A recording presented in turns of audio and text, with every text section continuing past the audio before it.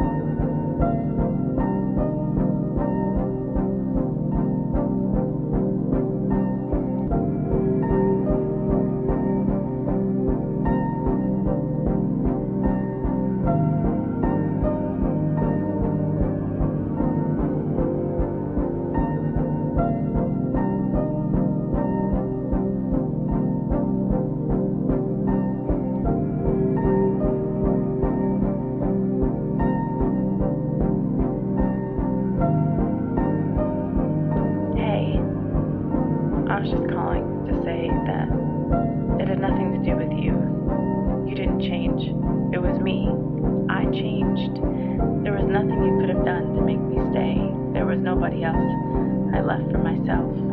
It's just that, how do I say this? One day things didn't feel the same.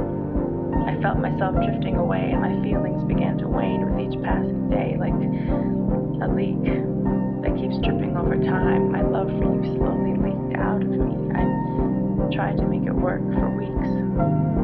Stayed longer than I should have, and before I knew it, there wasn't a single drop left in me that still wanted you and me. I was running on empty. No matter how much I could see you trying to refill the love in me, I'm sorry. It wasn't you. It was all me. I still care for you. I want the very best for you, but I could no longer be there for you. I just wanted to clear the air for you. I understand if you hate never imagined that I'd say this to you. You have to know, though, that I didn't plan for this. I never meant to hurt you.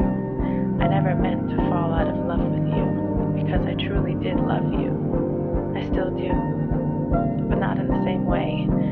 Not in the way that would make it fair for me to stay. I'm sorry things couldn't stay the same. Maybe we can be friends again someday. One day.